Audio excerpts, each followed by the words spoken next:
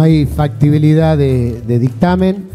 El debate será en el Pleno el día 8 de agosto.